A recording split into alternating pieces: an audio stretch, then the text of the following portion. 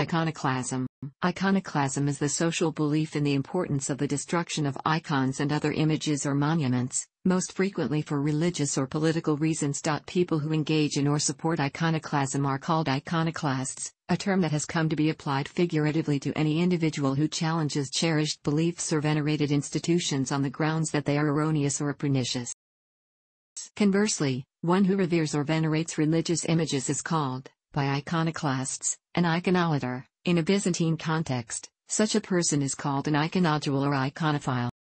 The term does not generally encompass the specific destruction of images of a ruler after his death or overthrow, damnatio memoriae. Iconoclasm may be carried out by people of a different religion, but is often the result of sectarian disputes between factions of the same religion. Within Christianity, iconoclasm has generally been motivated by those who adopt a literal interpretation of the Ten Commandments, which forbid the making and worshipping off graven images or any likeness of anything.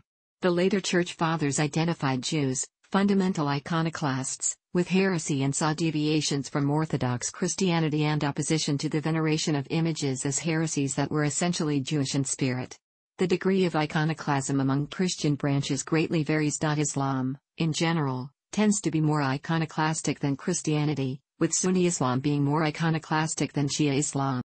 In the Bronze Age, the most significant episode of iconoclasm occurred in Egypt during the Amarna period, when Akhenaten, based in his new capital of Akhetaten, instituted a significant shift in Egyptian artistic styles alongside a campaign of intolerance towards the traditional gods and a new emphasis on a state monolatristic tradition focused on the god Aten, the sun disk. Many temples and monuments were destroyed as a result. In rebellion against the old religion and the powerful priests of Amun, Akhenaten ordered the eradication of all of Egypt's traditional gods. He sent royal officials to chisel out and destroy every reference to Amun and the names of other deities on tombs, temple walls, and cartouches to instill in the people that the Aten was the one true God. Public references to Akhenaten were destroyed soon after his death. Comparing the ancient Egyptians with the Israelites, Jan Assmann writes For Egypt, the greatest horror was the destruction or abduction of the cult images. In the eyes of the Israelites, the erection of images meant the destruction of divine presence. In the eyes of the Egyptians, this same effect was attained by the destruction of images.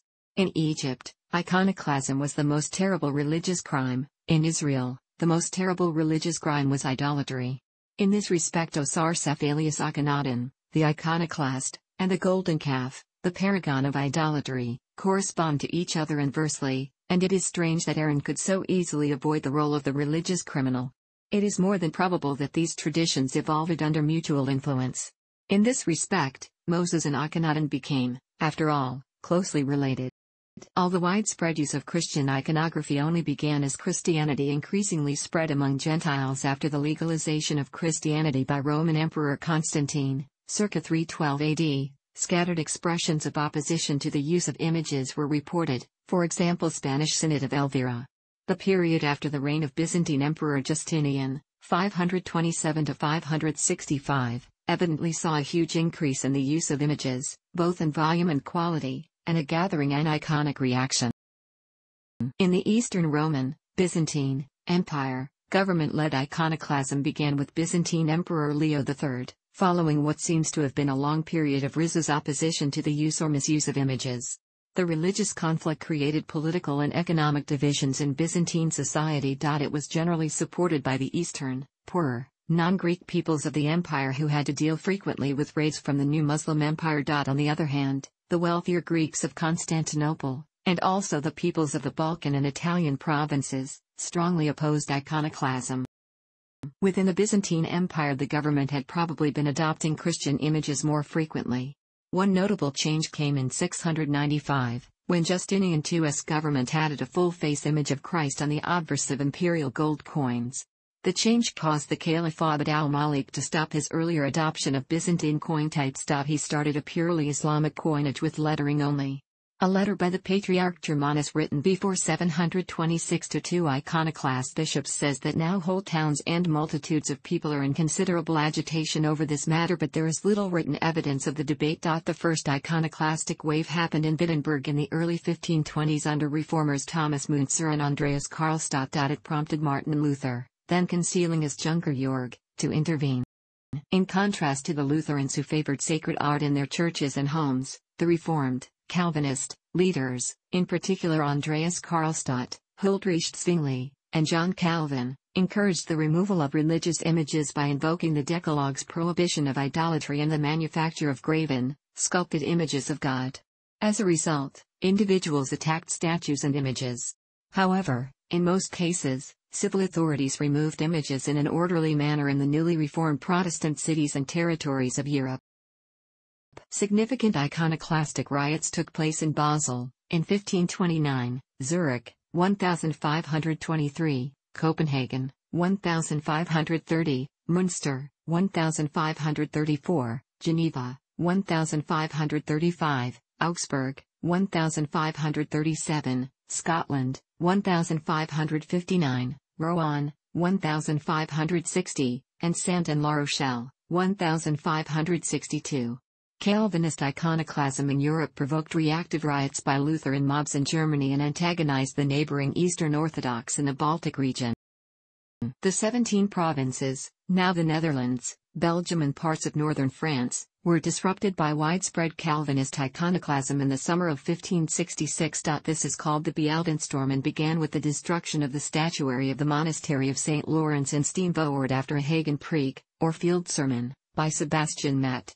Hundreds of other attacks included the sacking of the monastery of St. Anthony after a sermon by Jacob de Buysere. The Beeldenstorm marked the start of the revolution against the Spanish forces in the Catholic Church. The iconoclastic belief caused havoc throughout Europe. In 1523, specifically due to the Swiss reformer Huldreich Zwingli, a vast number of his followers viewed themselves as being involved in a spiritual community that in matters of faith should obey neither the visible church nor lay authorities. According to Peter George Wallace, during the Reformation in England started during the reign of Anglican monarch Henry VIII, and urged on by reformers such as Hugh Latimer and Thomas Cranmer, limited official action was taken against religious images in churches in the late 1530s.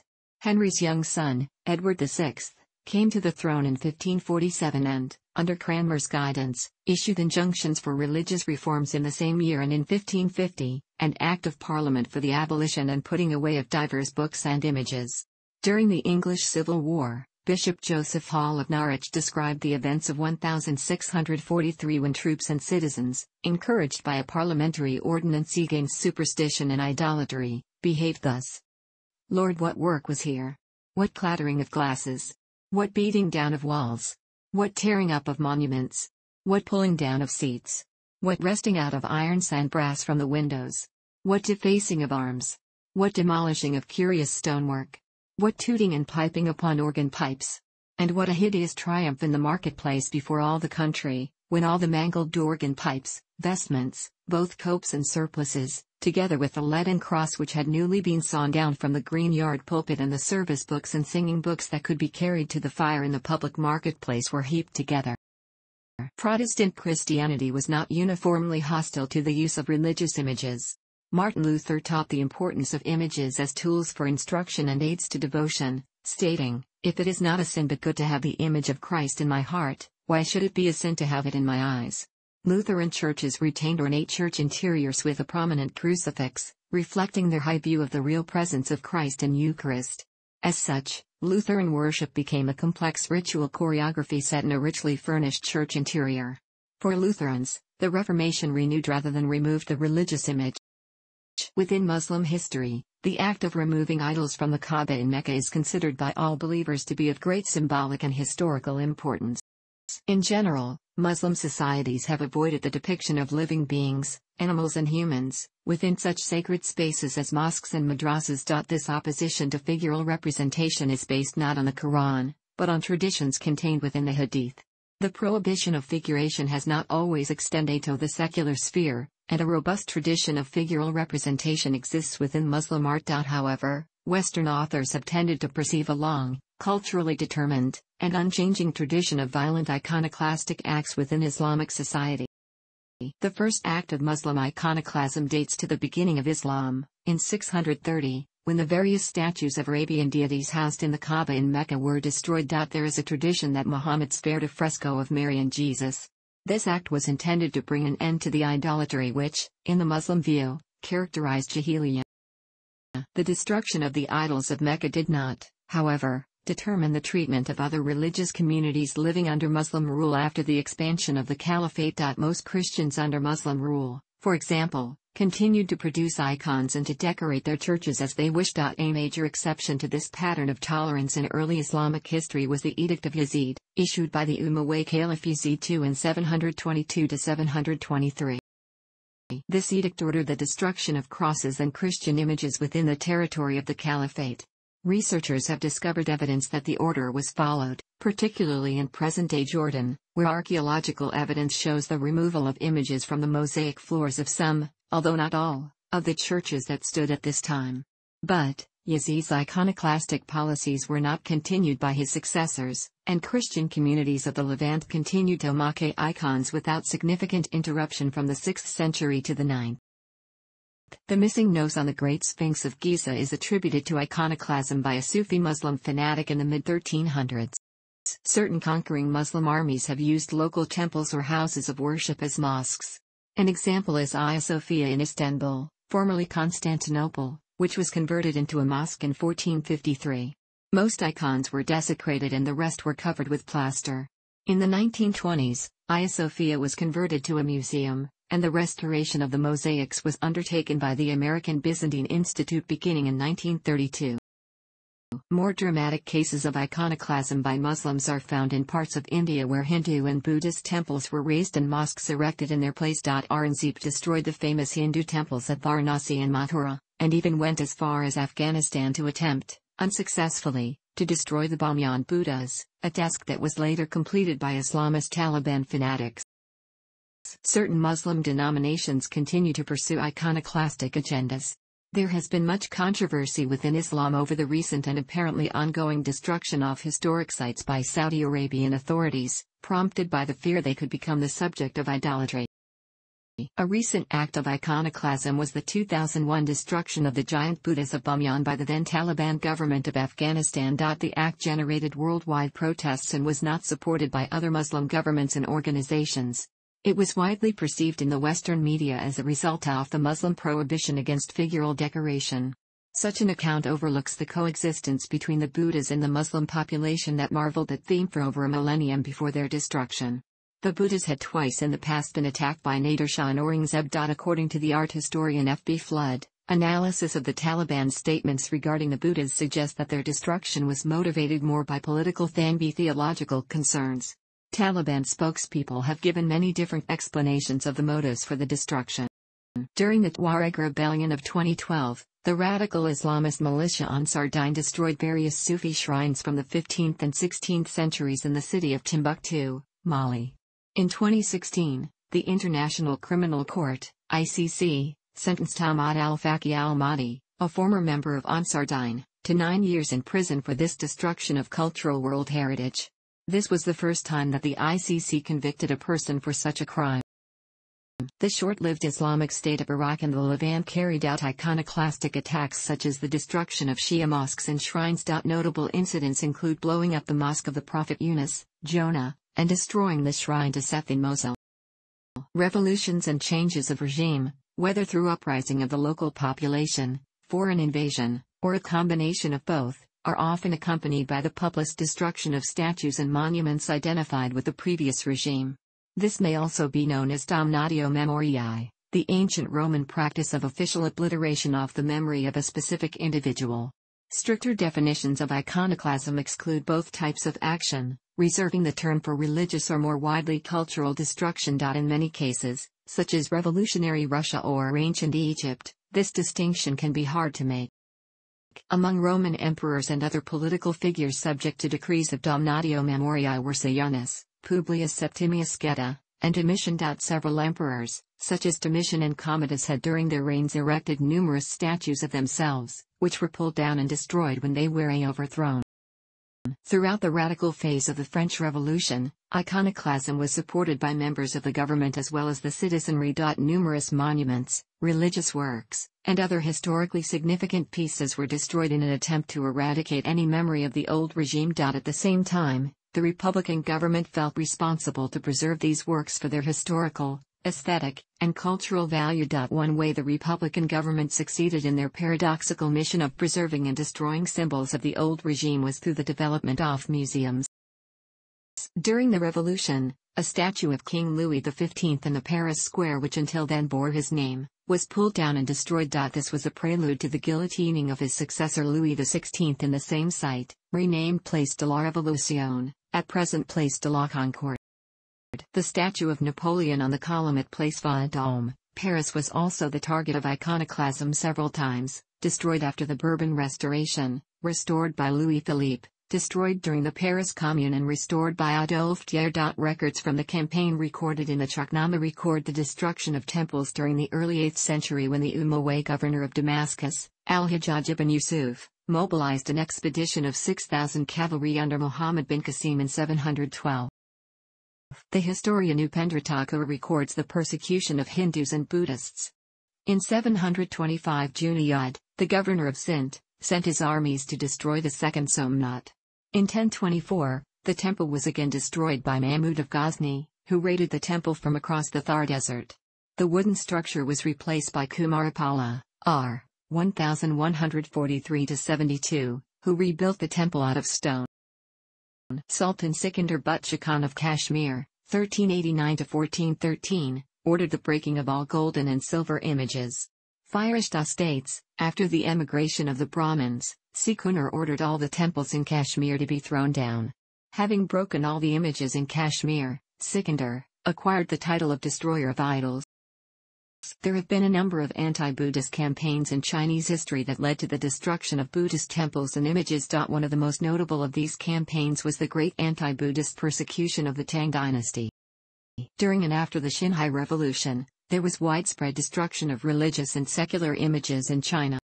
During the Northern Expedition in Guangxi in 1926, Kuomintang General Bai Chongxi led his troops in destroying Buddhist temples and smashing Buddhist images, turning the temples into schools and Kuomintang party headquarters. It was reported that almost all of the viharas in Guangxi were destroyed and the monks were removed. Bei also led a wave of anti-foreignism in Guangxi, attacking Americans, Europeans, and other foreigners, and generally making the province unsafe for foreigners and missionaries. Westerners fled from the province and some Chinese Christians were also attacked as imperialist agents. The three goals of the movement were anti-foreignism, anti-imperialism and anti-religion. Bei led the anti-religious movement against superstition. Huang Shaohong, also a Kuomintang member of the new Guangxi clique, supported Bei's campaign. The anti-religious campaign was agreed upon by all Guangxi Kuomintang members. There was extensive destruction of religious and secular imagery in Tibet after it was invaded and occupied by China.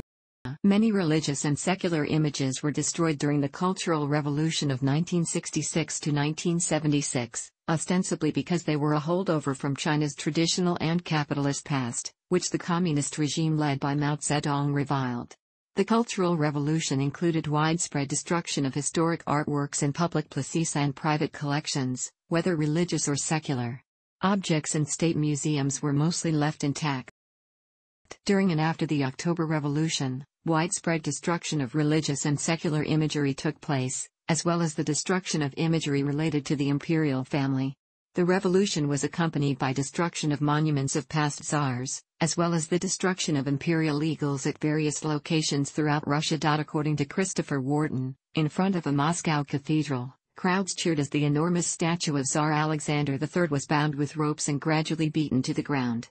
After a considerable amount of time, the statue was decapitated and its remaining parts were broken into rubble.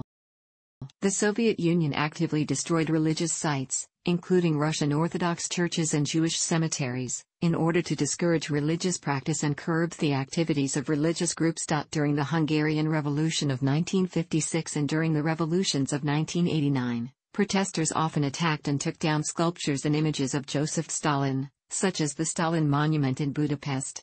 The fall of communism in 1989 was also followed by the destruction or removal of statues of Vladimir Lenin and other communist leaders in the former Soviet Union and in other Eastern Bloc countries. Particularly well known was the destruction of Iron Felix, the statue of Felix Dzerzhinsky outside ETH KGB's headquarters. Another statue of Dzerzhinsky was destroyed in a Warsaw square that was named after him during communist rule, but which is now called Bank Square. Other examples of political destruction of images include. Thanks for watching. Don't forget like the video and don't forget to subscribe.